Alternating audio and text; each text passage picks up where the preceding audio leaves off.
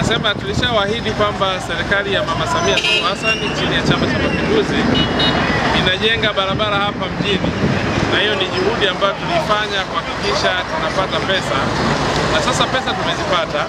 Tukaanza na mchakato, wananchi wengi walikuwa wanasubiri, na sasa nataka niwaambie wanakiela, kazi imeshaanza. Kama mnavyoona tunaenda kupiga barabara za lami hapa mjini, na inayofuata ni kuweka taa.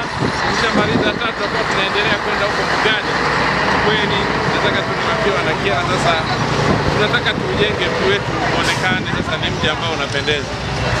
Labda unaweza kuwakumbusha ni barabara zipi hapa mjini? Ah, barabara za hapa mjini tuna hii ya, ya pale Stekini ile pale, lakini tuna barabara ya hapa Mwakyoma, tuna barabara ya pale CCM, tuna barabara ya Kiva kunyoka, lakini tuna barabara ya kule Posta kwenda kuunganisha nyuma stendi.